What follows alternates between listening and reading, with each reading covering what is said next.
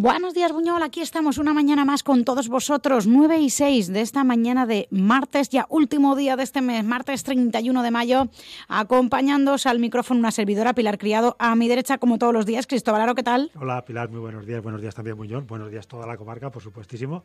Muchísimas gracias por vuestra escucha y por informaros de otra manera. Claro y estáis que sí. invitados, ya lo sabéis. Claro que sí. A los eh, controles está esta mañana nuestro compañero Rodrigo Puche.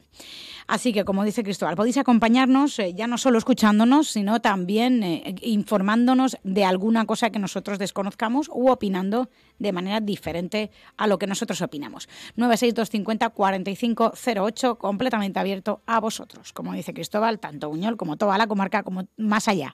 Porque gracias a nuestra web pues se nos puede ver y escuchar en todo el mundo. Así que, bueno, pues dicho esto, Cristóbal, adéntranos en la actualidad digital, que sí que es cierto que va in- lo más seguro es que sea el último día, de- a- hasta que vuelvas en septiembre. Exactamente. Porque no creo yo que me dé mucho tiempo a más. A preparar más cosas, ¿no? Pero bueno, eh, eh, sí, danos un repasito. No, después de lo del pleno de la noche a las 11 a la- Buah. y pico de la noche acabar, venir ahora esta mañana tempranico a la radio, la verdad es que Madre la marinera. No, el, el- el reloj de fichaje yo creo que lo, lo Lo- hemos fundido, ¿eh? ya. Lo hemos fundido entre Rodri y yo. Bueno, seguíamos. Eh, te- Como digo, la- vale la pena que desearos un buen veraneo porque yo me voy a tomar unos merecidas vacaciones o no. Además Alguno sí. pensará que no me las merezco, pero en fin, es igual. Bueno, tú estás en vacaciones perpetuas, ya estás jubilado, es vacaciones de aquí. Correcto. Bueno, pues como os decía, antes de despedirme de vosotros para el veraneo, eh, el último repaso del mes de mayo y también antes del verano, el, el- el último repaso a la actualidad digital. Empezamos por el diario.es. Ya sabéis que aquí recogemos esas noticias que nos llaman la atención, que nos dan que pensar y que nos hacen preguntarnos cosas al respecto de un montón de cosas de la actualidad, ¿no? Y vale la pena tener un poco de criterio y preguntarse muchas cosas para tener inde- independencia. Bueno, empezamos por el diario.es nos cuentan que los precios de la vivienda en las Islas Baleares expulsan a la población local, para que luego digan desde algunos sectores económicos y del gobierno que no hace falta regular ni alquileres ni vivienda. Vaya tela. Bueno, pues ahí están los, los, los, los mallorquines diciendo que no pueden, bueno, de hecho viviendo en, en roulots y en caravanas porque no pueden pagarse la vivienda, porque claro, como está hecho todo para los ricos que vienen allí turistas, pues los demás, los de aquí no pueden, no pueden vivir en una casa. Bueno, más cosas del diario.es. Eh, el titular ya llama la atención y lo he apuntado sencillamente por eso. Luego en los diarios de papel impreso no le hemos encontrado más referencias a este tema que vamos a ver ahora. Yolanda Díaz, OTAN de entrada no, en recuerdo de aquella famosa campaña del PSOE de OTAN de entrada no, pero luego nos la metieron con doblada, ¿no? Bueno, eh, eh, parece ser que Yolanda Díaz y Unidas Podemos no está de acuerdo con el tema de que se amplíe el, gasto en, en armamento y lo de la entrada de la OTAN, pues no, hay mucho que celebrar precisamente, ¿no? 40 años se va a celebrar ahora el aniversario, tela. Bueno, nos cuentan también, para terminar el diario.es, este, este titular no tiene, no tiene desperdicio. Mirar, Feijó empieza a meter miedo al PSOE a base de hacer lo menos posible. La verdad que es curioso, ¿no? Los periódicos, La Razón, el eh, ABC, El Mundo, todo están todos los días con Feijó en la portada, pero Feijó no hace nada, sencillamente está ahí. Bueno, es curioso el titular, dice, a base de hacer lo menos posible, meter el miedo al PSOE. Bueno, ya están algunos periódicos para darle campaña a Feijó, aunque no haga nada. El Diario Público. Eh, la cumbre de la OTAN, también otro periódico que también se hace eco, la cumbre de la OTAN y el aumento del gasto militar enfrentan a PSOE y Unidas Podemos. Luego, en, aquí, esta noticia, la verdad es que ya sabéis que, bueno, no lo sé si lo sabréis porque no le están dando mucho bombo. Eh, Petro, el candidato de izquierda en Colombia, parece ser que está ganando las elecciones, ¿no? Bueno, pues mirar, mirar que tela marinera, que la justicia en España precisamente no se puede decir que sea rápida, ¿no? Ahí hay un montón de casos de gente que está esperando años, juicios, ¿no? Pues mira, la Audiencia Nacional, aprovechando que tiene tiempo libre, no sé de dónde lo sacará, porque con las sentencias que tiene que firmar y los juicios que tiene que cubrir de aquí ya no se sabe. Pero en fin, la Audiencia Nacional siempre encuentra tiempo y admite una denuncia contra Petro por un dudoso secuestro de un periodista en 1981. Ah, le tírale. La Audiencia Nacional también se está cubriendo de gloria. Bueno, en el Diario Público hay una columna chulísima, muy cortita, y nos hace un retrato de lo que nos está ocurriendo aquí en España. Hablando de aquel famoso fra- aquella famosa frase de Romana, hace dos mil años ya. Si le das al pueblo pan y circo, se quedará quietecito y tranquilo, ¿no? Pues el artículo de este periodista del Diario Público lo ha titulado El circo sin pan. la verdad que está bien. Bueno, vamos para allá. Nos cuentan que Mira, hablando de la bueno, los jueces, iba a decir la justicia, no, los jueces. El juez archiva la investigación por espionaje a Torrent y a Maragall. Vale, aquí no ha pasado nada. Circulen y todos sigan su camino, que van a continuar espiando cuando quieran, como quieran y a quien quieran. Nos cuentan también que, para que vayamos tomando nota, el Ministerio de Hacienda ha abonado a las gasolineras 334 millones de euros por la bonificación de 20 céntimos por litro. Lo habéis notado en las, en las de eso, casi nada, ¿verdad? Pues nos han costado 334 milloncitos de nada para regalárselo a las petroleras, claro. Bueno, terminamos con el, el gobierno, iba a decir, el periódico de Infolibre, que también nos da una noticia que también de la marinera, que diría Pilar. El gobierno de Murcia nombrará hijo predilecto al obispo que se saltó la lista de vacunación de la COVID. ¿Os acordáis? Aquel hubo ahí militares, jueces, políticos y había también obispos, ¿no? Uno que se saltó la, el turno y se, se, se, vacunó antes de tiempo, antes de que los que le tocaban, ¿no? Antes de los grupos de riesgo. Bueno, pues al obispo que se saltó el turno, el gobierno de Murcia le va a nombrar hijo predilecto. Supongo que querrá que todos sus hijos sean así, ¿no? Bueno, en Infolibre para si alguien quiere enterarse de cosas curiosas de aquí, de, algunos gobiernos de, la, de las comunidades españolas. Y ahora vamos a las portadas españolas también. A ver lo que nos cuentan. Venga, pues cuéntanos, ¿qué nos dicen? Ya que hay un montón de cosas, la verdad es que tela. Bueno, eh, nos cuentan, en la parte superior de la portada del país nos encontramos que Ucrania irá al Mundial de fútbol, ¿eh? al Mundial de la Fama ya ha saltado. Bueno, luego también nos cuentan en el país que la Unión Europea corta el petróleo ruso, pero solo el que, venga, en barco. El que viene por tubería no, ese lo seguiremos gastando y comprando. Que los rusos son muy malos, pero hay que comprar petróleo. Entonces sí, pero no, el paripé de siempre, ¿no? Han cortado el petróleo ruso que venga en barcos petroleros.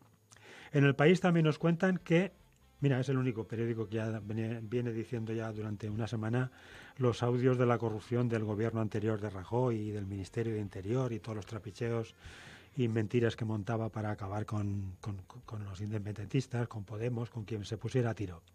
Bueno, nos cuentan que el Ministerio de Interior intentó borrar las pruebas de, que tenían los jueces para investigar la corrupción y la financiación irregular del PP. Bueno, pues el Ministerio del Interior, nada menos, intentó borrar esas pruebas.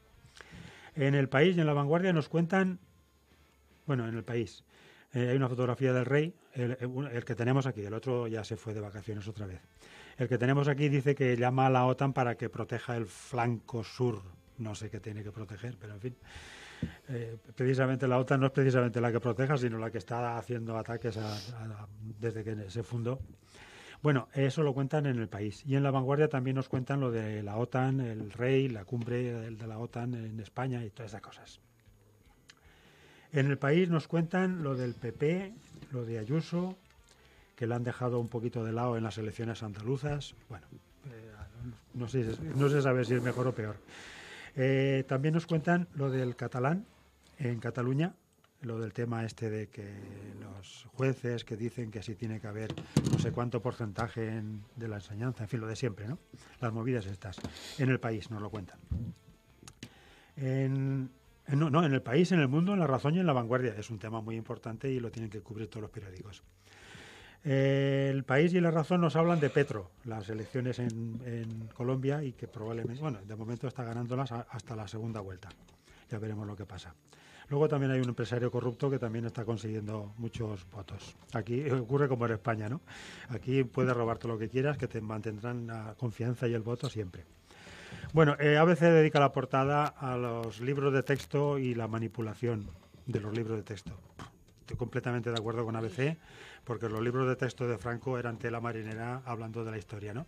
Y Vox, hablando de la historia de España, también tela marinera como manipulan, ¿no?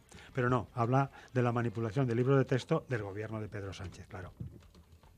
Bueno, lo de OTAN y Podemos, ya sabéis lo que está pasando, nos lo cuentan en el país, en ABC, en el mundo y en La Razón. Cada periódico lo cuentan de una manera, por supuesto. Una noticia del mundo para que vayamos tomando nota de, lo que está ocurriendo sin que nos enteremos. Ya se sabe que los poderes económicos no quieren que nos enteremos. Dice el, el periódico del mundo que el calentamiento global reduce un 6% la producción agrícola en España. ¿eh? Nada menos. Luego también nos cuentan en el mundo, ya lleva dos o tres días o cuatro, hablando de la corrupción del PSOE en la Comunidad Valenciana, aprovechando la corrupción del PP, pues eh, también corrompían a, miembros del PSOE. Sí, ya lo sabemos. También PSOE y PP también se unen en la corrupción. Luego también nos cuentan en el mundo, en La Razón y en La Vanguardia, lo de la inflación. No sé si os habréis enterado de que ir a, comprar a la tienda cuesta un riñón. En el diario El Mundo nos cuentan que más país, el de Íñigo Rejón, tenemos problemas técnicos de nuevo otra vez en, la informática de, la Radio Buñol. Vamos a ver si conseguimos ponerlo al día. Mientras tanto, seguimos informando. En más país nos cuentan que, en el mundo, perdón, nos cuentan que más país falsificó firmas y hizo el paripé de una asamblea para concurrir a las elecciones estas pasadas, ¿no? Luego también nos cuentan en el diario Mundo, dedicado a los amantes del fútbol, para que vayáis viendo cómo funciona todo, para que veáis que es un negocio. Rubiales se aumentó el sueldo hasta 675.000 euros al año y aparte un plus de 3.000 euritos al mes para alquilar. Como veis, da mucho de sí el, fútbol, siempre que no sea el los, los, los, de segunda, tercera, cuarta o quinta, ¿no? o que no sea Real Madrid. Bueno, en, en La Razón nos cuentan lo de las elecciones en Andalucía, el PP, ya se sabe que estamos en campaña y hay que continuar con el rollo. Luego, eh, nos cuenta en La Razón también un reportaje sobre el, fotógrafo García Alix. Y terminamos ya el recorrido de la información con eh, La Vanguardia, que nos cuentan que la inversión en Cataluña ha sido tres veces menor que en Madrid.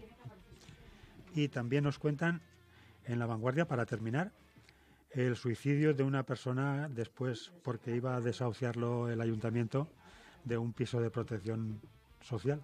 Bueno, se ha suicidado, como otros muchos cientos, ¿no? Y, la portada de la vanguardia también recoge una fotografía de la delincuencia estival en Barcelona. Y con esto, con este último toque, eh, terminamos ya el repaso de las portadas y no sé si pues hemos, tenido, ahora ya sí. hemos tenido suerte y hemos conseguido reparar la pantalla de Pilar porque no estábamos peleando aquí con ella. No, que no tengo yo mucha fuerza esta mañana. Ya las fuerzas me flojean.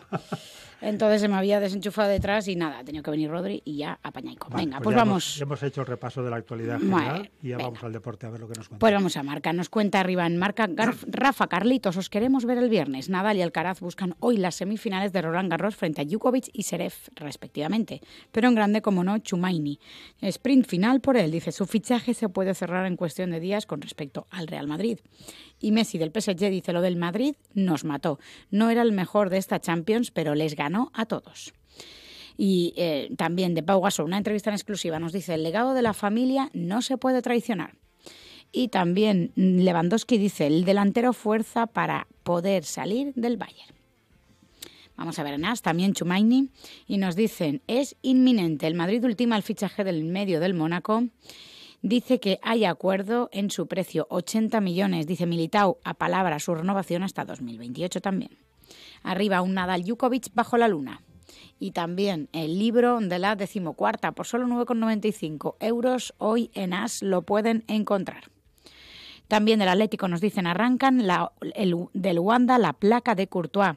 Cerezo había dicho horas antes, si quieres quitarla coge pico y pala y de la Federación Rubiales 675.000 euros anuales. El presidente se pone un sueldo fijo y niega haber gastado dinero para espiar. Pues nada, entonces las conversaciones que se le han pillado forman parte de, otra galaxia. hemos oído. Madre mía. Selección. ¿Has, oído? 675.000 euros al año. Sí, sí. 1.000 euritos al mes para alquilar el piso. Pues nada, súper bien. Este tipo de cosas hacen eh, que, la gente al final eh, se desencante de lo que es el fútbol y la esencia del fútbol. Porque hacen, hacen un montón de, negocio cuando realmente el fútbol no es eso. Y quienes están representándolo, pues mira tú. mm. la imagen que dan. En fin, selección, rotaciones en la Nation League. España ya prepara con Tiago Tocado la cuádruple jornada que abrirá el torneo. Bueno, Vamos a Mundo Deportivo y en grande nos cuentan Guerra Lewandowski-Bayer. El crack se moja y mandó un mensaje por claro, muy claro a su club desde Polonia. Mi etapa en Múnich ha terminado. Añadió que lo mejor sería un traspaso y anunció novedades en unos días, mientras el Barça está a la espera. Arriba Nadal Newkovic a las 9 menos cuarto de la noche, el mejor partido de la tierra, dice. Es en tierra batida. Messi se sincera en una entrevista y dice, este año no disfruté. Admitió su difícil encaje en París y el PSG tras su larga etapa blaugrana. Normal, si es que no sé para qué se fue, pero en fin, aquí es lo que pasa. El dinero y el dinero. En Sport, en grande, Lewandowski dice, mi etapa en el Bayern acabó. Lewandowski responde a las preguntas de Sport. El Bayern es un club serio y espero que no me retengan. A ver qué podemos hacer en las próximas dos semanas, nos dice. Y también abajo, eh, de la selección empieza la concentración. Dice, Ansu regresa a la roja de Luis Enrique. También Chumaini muy cerca de fichar por el Madrid. Y de Nadal dice, se la juega ante Jukovic, como hemos dicho, en cuartos de Roland Garros a las 9 menos cuarto de la noche. Un partido, como decimos, que seguro que llegará a altas horas de la noche. Y terminamos el apartado deportivo con Superdeporte en grande. Anil Murci a la basura aparece eh, despido fulminante del presidente después de los audios, pero el problema continúa en Singapur y se llama Peter Lim. Aparece uno de los aficionados eh, tirando una basura, los aficionados del Valencia, justo en la sede del Valencia y dice, y eso es, como un juego de palabras, ¿no? Anil Murcia la basura. Meriton se desmarca del ya expresidente, lo señala como el gran culpable y apunta a las exclusivas de Superdeporte como detonante histórico. Un lustro de incidencia al frente del Valencia Lim decidirá sobre Bordalás con dos nuevos inventos para la presidencia y la dirección general. Bueno, para que no se vayan todos los que están ahí, eh, está complicado que el Valencia cambie. Bueno, pues vamos ahora al apartado económico, Cristóbal. Vamos allá. es un recorrido rápido porque prácticamente hay seis noticias y ya las hemos, algunas de ellas están ya en, la información general. ¿no? Por ejemplo, la subida de tipos eh, nos cuentan en cinco días que va a suponer 600 euros más por hipoteca, con lo cual ir preparando el bolsillo, que la cosa no se va a arreglar rápidamente. Hablando de la subida de tipos, aparte nos cuentan lo de la inflación, tela, también marinera, como nos, estamos, nos están dando por todos los lados, ¿no? Nos lo cuentan en cinco días en El Economista y en Expansión. y luego una noticia de cinco días que también duele un montón. Las medidas para bajar la luz del gobierno cuestan 4.000 millones, pues ya no la podían dar a cada una de las casas, iríamos pagando recibos, ¿no? En fin para que continúe todo como está, forrándose las, eléctricas, no hace falta tantos millones gastados por parte de nadie, ¿no? En El Economista nos cuentan que Putin corta el gas a Dinamarca y Países Bajos. En El Economista, lo de siempre, el rescate de Abengoa. No, no, no lo de siempre lo de Abengoa, sino lo de rescates. Estamos rescatando a todas las empresas que le sale de las narices al gobierno y a los empresarios, ¿no? En fin, mal asunto si nos rescataran igual con la luz y con los alquileres y con los desahucios, pues estaríamos mejor. Bueno, en expansión nos cuentan que AENA no revisará los precios de las contratas, con lo cual se enfrenta a las constructoras y a todas las empresas. Ya veremos en qué acaba.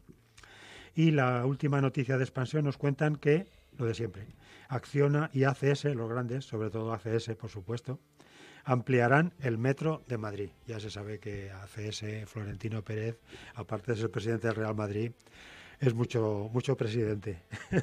en fin, bueno, ya se sabe quién tiene el poder aquí en, este, en, este, en esta pequeña patria nuestra.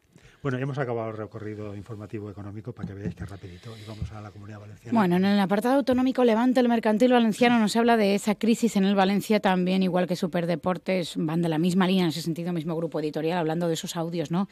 Y que al final está desencadenando en situaciones de cambio. Esperemos que vayan a más. El valencianismo fulmina a Anil Murci. Lim destituye al presidente tras los audios destapados por Superdeporte y Levante y la protesta masiva. El propietario coloca a Kalimudin y Sen Bai de jefes interinos y busca presidente. Meriton dice ahora que quiere recuperar la credibilidad y la paz con la afición. El conflicto urbanístico es otra de las claves y el club pasa a asegurar que acabará el estadio. Bueno, como siempre. En equipo, dice Lim, decidirá el futuro de Bordalás como paso previo a redefinir el proyecto. Y en grande, aparece la imagen de Antonio Marruquiso que pasó a disposición judicial ayer en Sátiva. Dice, me ha quitado a mi hermano y mi cuñada. Los familiares de, víctimas, de las víctimas del kamikaze de Canals reclaman justicia normal. Modelo de país, dice el Plan Valenciano para descentralizar el Estado prevé quedarse puertos. También nos cuentan en Información No Mediterráneo, periódico de Castellón, nos dice que Educación unifica las fechas del curso para todos los niveles. Las clases en el próximo curso empiezan el 8 de septiembre y acaban el 22 de junio, más o menos como todos los años. La sanidad pública no está preparada para asumir abortos, dicen. En Castellón se practican alrededor de 700 cada año. Y aparece la imagen del club del presidente del Castellón, Vicente Montesinos, que dice, voy a seguir y habrá cambios profundos. También eh, abajo, Puig lanza su propuesta para descentralizar sedes del Estado. Bueno, a ver, en 20 minutos. En grande, Mazón critica el silencio de Puig ante la presunta financiación ilegal del PSPV. El líder del Partido Popular de la Comunidad Valenciana ve nervios en los socialistas ante las supuestas facturas ficticias. El PSPV insiste en que Azud es una trama del PP y Ciudadanos pide investigar ya. Y una entrevista en grande a Pilar Job dice el sistema judicial debe volcarse con la víctima de violencia de género. Es la ministra de Justicia, una entrevista a 20 minutos que explica el sistema de becas para opositores a judicatura y fiscalía y expone su posición sobre la renovación del Poder Judicial y sobre la futura ley de trata. También la inflación, dice, no da tregua y se dispara hasta el 8,7% por los combustibles. Y los alumnos de FP cotizarán a la Seguridad Social por las prácticas que hagan. Oye, pues me parece muy buena idea. Otra propuesta. En Información de Alicante, la Ciudad de la Justicia se llamará Rafael Altamira. Es una recreación virtual en grande del edificio que irá frente al actual Palacio de Justicia. Dice, las obras para construir el edificio que albergue las sedes judiciales de Benalúa se adjudicarán este verano y los trabajos podrían comenzar antes de que acabe el año. También el centro de congresos del puerto estará diseñado para todo tipo de convenciones, dice. Y también la pandemia multiplica por tres los casos graves de autolesiones en los adolescentes. Pues no me extraña. Vamos a ver, las provincias, y ya con ello terminamos el apartado autonómico, nos dicen Estaban juntos desde la, desde la adolescencia, una imagen en grande silueteado del matrimonio que se ha llevado eh, ese kamikaze, ¿no? E incluso pues deja una, una bebecica de pocos meses. Llegaron a Canals hace dos años para forjar una, una vida en común y han muerto atropellados. También nos cuentan en grande, como decimos, eh, la soledad, ¿no? Murci que se lleva la mano a los labios en el partido contra el Celta ante una grada vacía. Dice Lim sacrifica a Murci en un intento desesperado de lavar su imagen. Dice el Valencia busca presidente y promete acabar el nuevo Mestalla. El interino Shanbai hereda un club en quiebra. Y también abajo, boicot del Partido Popular en la, Comunidad Valenciana a la campaña del Estatuto por el eslogan Fent País y Alfonso Grau absuelto del delito de blanqueo en el caso de los relojes de lujo. Siempre se quedan todos estos eh, absueltos. En fin, no sé cómo se apañan. tenemos unos jueces maravillosos. Sí, sí.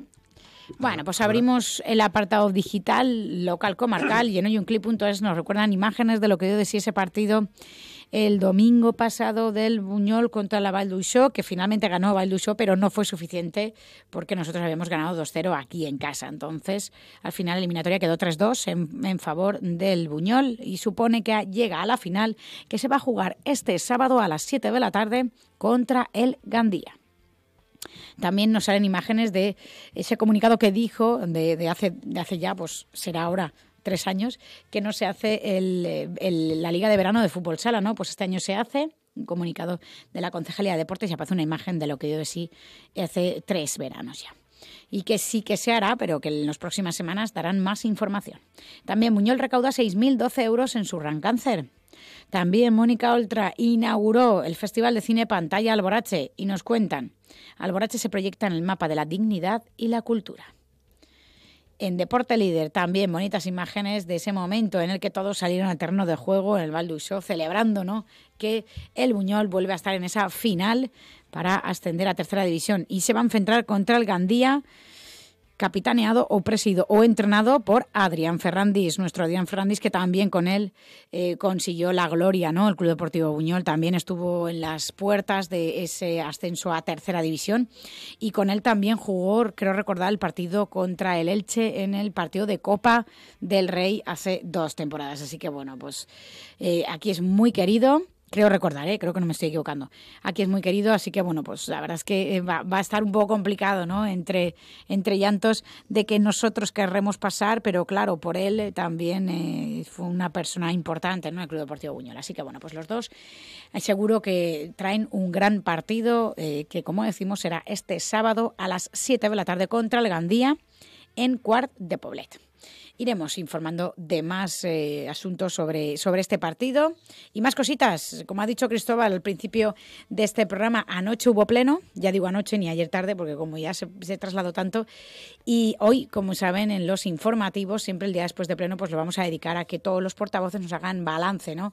de lo que dio de sí esa sesión plenaria de ayer, ordinaria, del mes de mayo.